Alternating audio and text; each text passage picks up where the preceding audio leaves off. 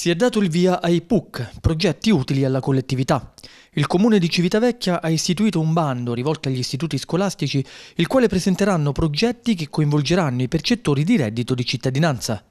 Nel nostro comune eh, abbiamo circa 3.000 percettori del reddito e circa 500 sono eh, all'interno dei servizi sociali, quindi sono eh, trattati anche da quelli che sono i nostri uffici. Molto importante è appunto questo bando che è stato eh, istituito il 24 di novembre con il quale noi eh, diamo spazio agli istituti scolastici per poter presentare dei progetti che possano interessare la solidarietà, che possano possono interessare il bene pubblico, che possono interessare con i loro progetti tutto quello che è sociale.